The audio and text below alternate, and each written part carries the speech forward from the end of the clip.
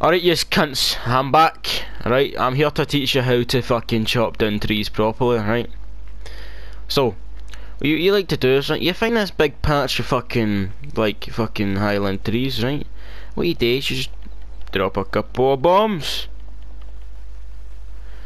And that's how you do it, right? And see after you've done that, see since you just committed a crime, mate, just fucking fly your plane just in the ocean, just right, right, right there.